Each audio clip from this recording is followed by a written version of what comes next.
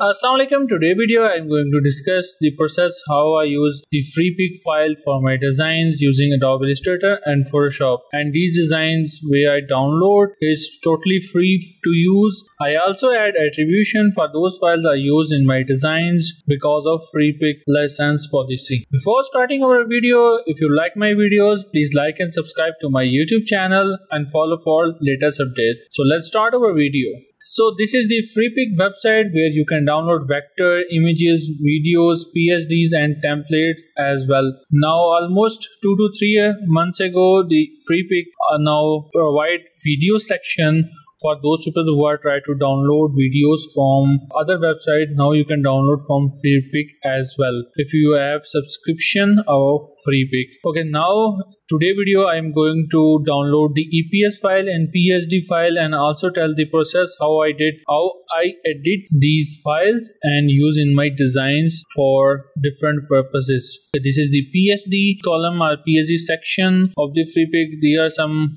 uh, there are two types of file. One is free file and one is premium file. The file which is with the cron icon these are the premium files and without cron icon these are the free files you can download and edit according to your needs and design Please note the point, if the file required attribution, make sure to follow the attribution requirements stated on the downloaded page or near the download button. Usually this involves giving contribute to the original creator by including the name and a link to their Freepik profile. So let's start by downloading some files and this is the vector file you can download and according to your uh, needs. I already download two files to save our time and start the main okay if you want to download the files you can simply click the file icon like this one. And this is the download button. You can simply click the download button and you will get the attribution requirement and go for premium. If you have a premium I uh, if you have a premium account then you cannot provide any attribution to the file. If if you have free account then you must add the premium requirement. You can need to simply click the download and the file is automatically download in your PC as well. There are a small point. If you are logged in to the Freepik account you can download almost 10 files files as you can see here there are the 10 limit 10 file limit. I already two two files downloaded. And if you don't log into the Freepik account or Freepik website then you can download only three files according to the Freepik rules.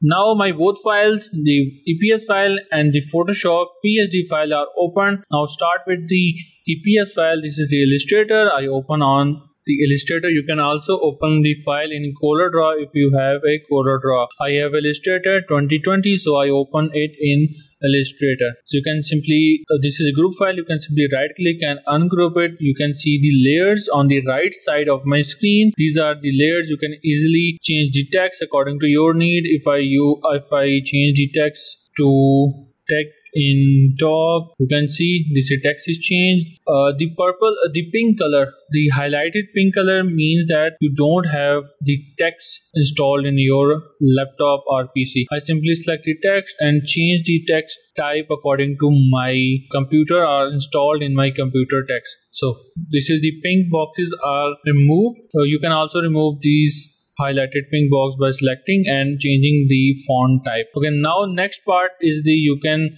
uh, simply select the file and place on another part and you can save it as well according to your design and according to your need. Uh, the process of how you can save the file simply go to the file and go to the export button and it export as. Now I simply export the same file address is this the testing file and then hit export. This shows the dialog box. I simply select the medium file to 5 and the resolution is 150 you can also change the resolution and the quality according to your need.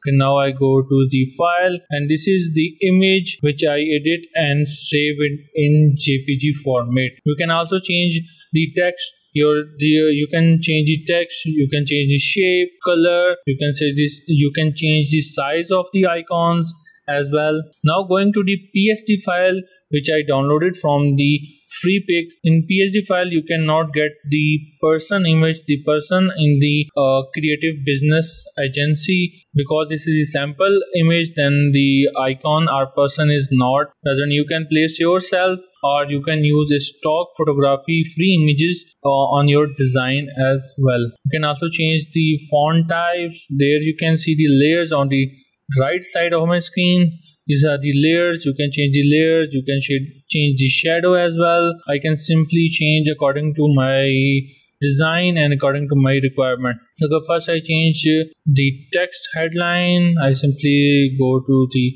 main heading and hit the VR. this is the text where you can change this. Simply select the text.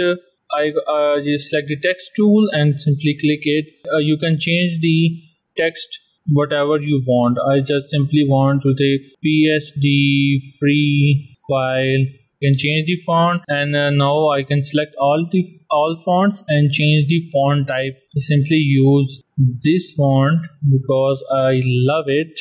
This is the font and now you can see the font is totally changed. You can change the font you can change the placement of the text you can change the logos anything you want you can change you can change the color of the background or color of the box as well you can simply click this box and change into i change I want to change into yellow color. This is the yellow and you can also change the button color as well. This is the background and this is the icon background color. And again, if you want to save the image, you can go to the file and go to export and export as then select the JPG image 4100 and the same setting as and then again I simply again type type text to file 2 and hit enter.